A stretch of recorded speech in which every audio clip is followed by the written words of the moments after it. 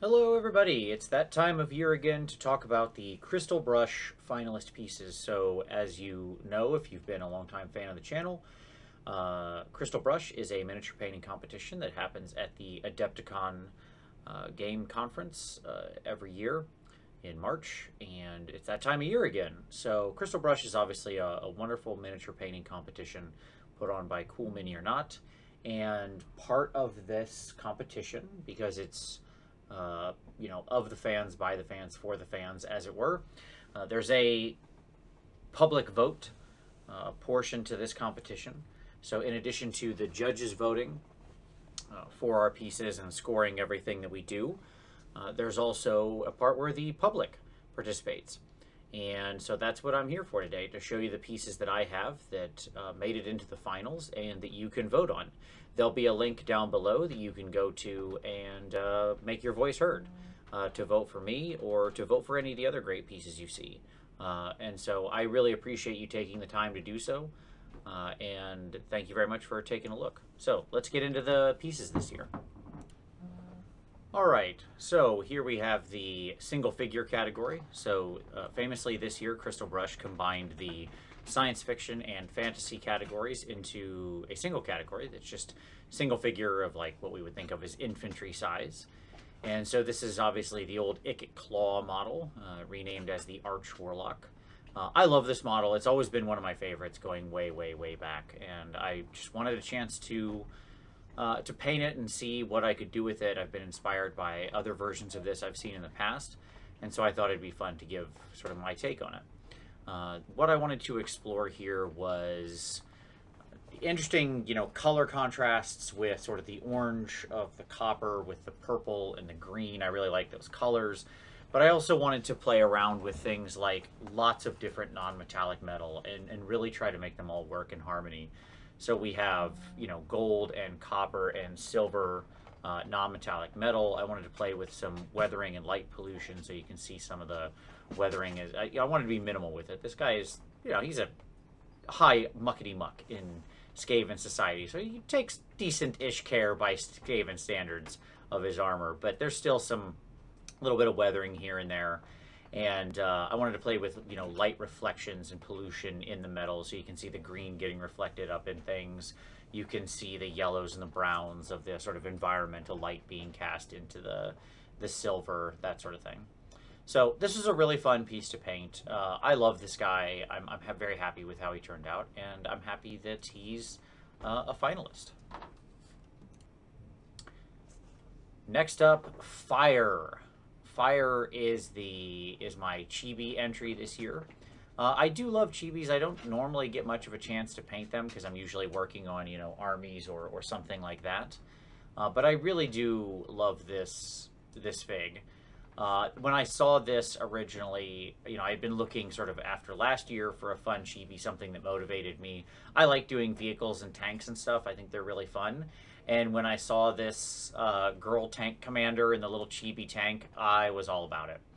So I I picked this up, and you know, this was just a fun chance to work on some unusual, uh, on an unusual miniature. Uh, once again, I wanted to really play around with exploring different high, high, high contrast non-metallic metal, so you can see especially in like the copper gun tip and the barrel there, stuff like that. Uh, obviously, as always, Chibi's a great chance to work on, you know, skin and eyes and hair and lens reflections, just all sorts of little fun things to do with this this miniature. So this one was really a lot of fun to paint. I even snuck in little Imperial logos on the tank because in my mind this is, you know, a, a Warhammer 40k Chibi version of the tank. So I thought that was super fun to do. And uh, I'm very happy she is a finalist. In the bust category, we have Midnight's Watch. Uh, this bust comes courtesy of AMSA, uh, which I, as soon as I saw it, I knew I wanted it and I wanted to paint it. I do love this thing.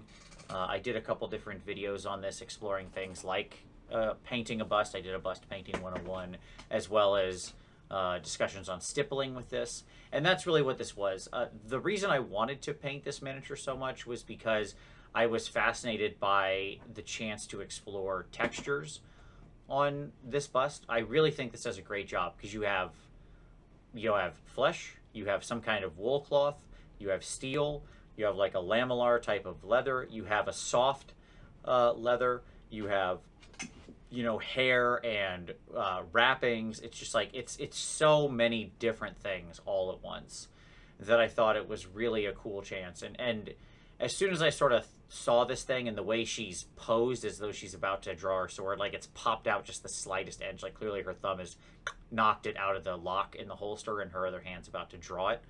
Uh, in my mind, it's like a jutsu style to grab it and spin around. Uh, but the I knew I wanted to have her at night in this extremely cool palette with the moon behind her, you know, sort of casting this ephemeral blue light and uh, really, really play with that kind of a, a, a, tone and a palette and cool everything out. Even the, you know, this sort of like warm red leather, I tried to cool it down with mixing in blues and stuff like that. And so this was just a really fun chance to, to explore that kind of a, a, concept. Uh, and then obviously I, I, thought the background would be a, a, fun touch to actually then show that, that moonlight and that sort of thing. But I like how this one came out. Um, busts are always a, a, very tough category, so I'm, I'm thrilled to be uh, a finalist in this one. All right, here we have the Queen of the Deep. Uh, this was a model that I was really excited for. So this comes uh, specifically from um, this comes specifically from a game where these are the heroes, right? And I'm I, I love the idea that that something that looks like this is the hero of the story. And I knew as soon as I saw this one that it was up my alley because it had this sort of almost like Slaaneshi feel to it, right? Of it to me felt like this thing wearing a human suit almost, right? In the way you can see the the extra pieces put on over like the ball joints that connect it. And so I really wanted to to do lots of things here. Can I could I make the flesh seem both fleshy but also then where the illusion has cracked because, you know, the the the it's not actually soft skin, but it's it's some sort of, you know, uh, plaster or you know clay or some kind of uh, I can't think of the actual substance, but you get what I mean, like an actual hard substance that's meant to look like skin. And can I show it cracking from exposure and things like that? Uh, so I wanted to to play with that. I really wanted to play with cold green non-metallic metal uh, to tint and make this whole. You know, she's the queen of the deep. I wanted to make everything feel like it had that ocean turquoise tinge in it. Uh, this was also a great chance to play with translucent cloth, which I always really enjoy to get that sort of sheer fabric, which again makes the dress feel wet, which again makes her feel like she's, you know, part of this. Uh, it speaks to that, that narrative of her being from the depths.